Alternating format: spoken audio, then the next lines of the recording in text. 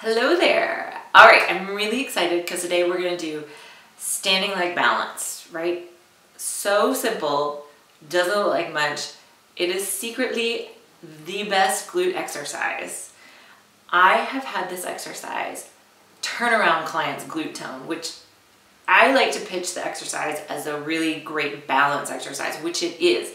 And that's where I feel like it's most valuable.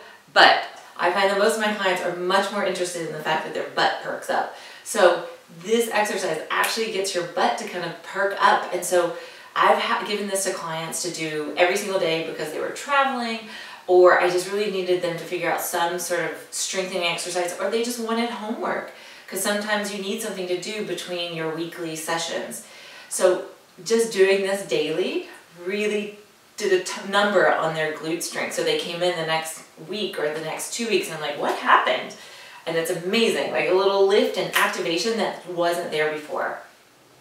All right, let's look at some alignment things that pop up. So a lot of times I give people this exercise and there's a whole host of things that we can do to cheat out of the work of the exercise. So let's look at that first. So when you do the exercise, you know what to look for in yourself. So the first thing I'm going to do is we're going to be lifting one leg up and basically this is this is the exercise. So one, go at your height. Two, I want to make sure that the pelvis stays level. You imagine it like car headlights pointing straight forward. You don't want to be cockeyed. And sometimes you can feel it in your pelvic bones.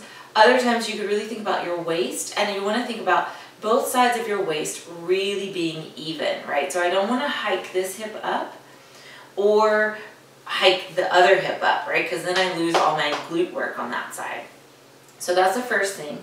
The other thing is, of course, hyperextension of the knees. So I don't want you to feel like you have to bend your knees, but you really want to think about how your shin is stacked on top of your foot and your ankle. The thigh is on top of that. Rather than letting the knee joint kind of drop back, you want to bring them into alignment so you have a nice spacious knee joint. And then my hip is on top of my thigh, and then my ribs on top of my hips, and my skull on top of there.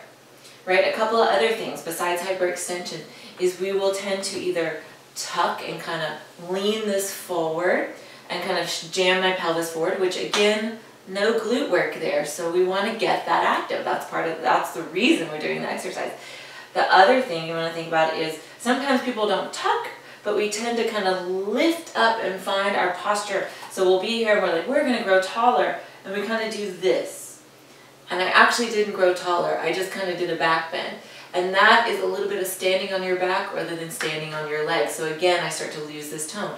So I want to get the ribs on top of the pelvis, the skull on top of the ribs, ribs on top of the pelvis, pelvis on top of the foot, right? So above the ankle, thigh, shin, right? Don't kick the shin back and the knee joint back, really stack it.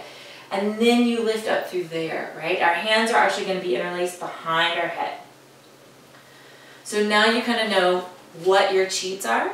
Let's move into the exercise. So find your feet parallel as you can possibly get.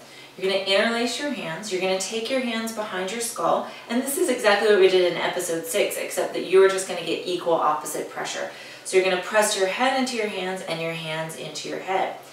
You're going to first press your left foot. So really mentally think about how you're going to shift your weight and lift the right leg off, but press through the left foot. So just think about it before you actually do it, right?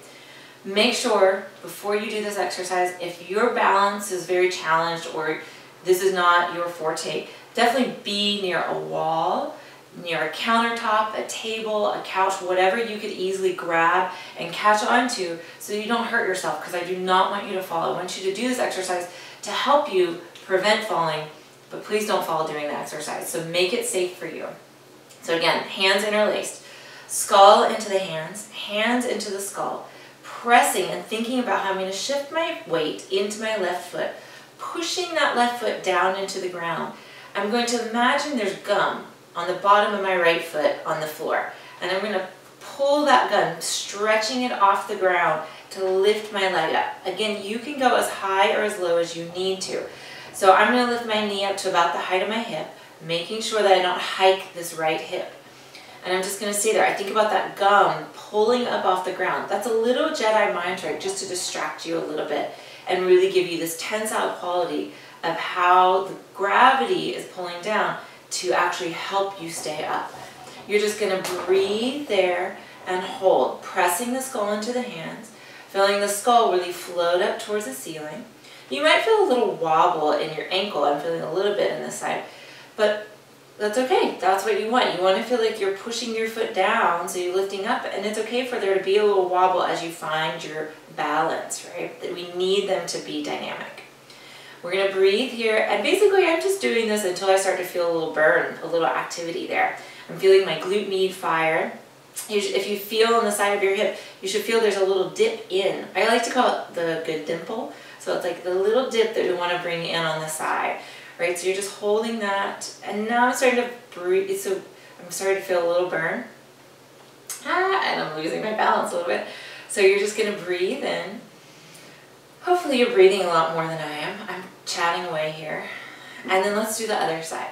So maybe you held that for way less than I held it, and that's okay. So you could hold it for five seconds, for 10 seconds, for 30 seconds, for a minute, as long as you want. Let's do the other side. Hands behind the skull, pressing the skull into the hands. My elbows are not too wide, they're a little forward. Remember, if you need to revisit this work, you could definitely go back to episode six and check it out. So I'm gonna think about pushing my right foot, heel, pinky toe ball of the foot, big toe ball of the foot, really pushing down as if I'm pushing the mat downstairs into my neighbor's apartment, really pushing it down. I'm gonna think about that left gum on the, the left gum, the left foot trying to pull up off the ground as if it has gum on the bottom of it. Pressing the skull into the hands, lift the foot up, test the waters with just a little hover of the foot, and then if you feel more confident, then bring the leg up higher. Remember, are you swaying in your back? Are you tucking your pelvis forward? Are you over back bending or hyperextending your knees? See if you can find those alignment of your shin on top of your ankle, your thigh on top of your shin your pelvis perched on top of that right thigh bone.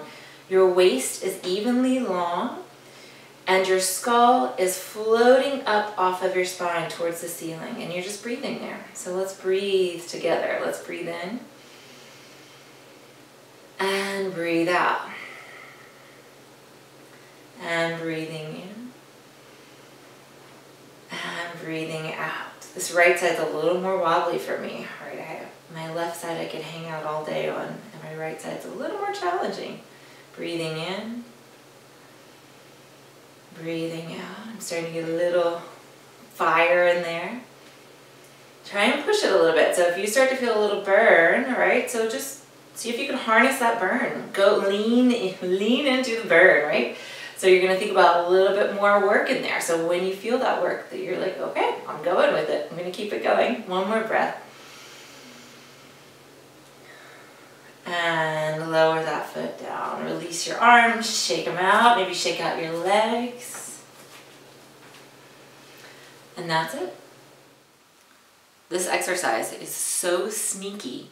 I mean, I feel my legs really active now. I feel that I can really stand on my legs and feel freedom in my lower back and my upper back because I feel propped up on those leg bones.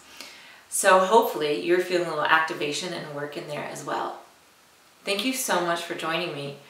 And maybe if you see someone whose glutes need a little perking up or someone that you feel like needs to stand on their legs a little taller, please share this video with them.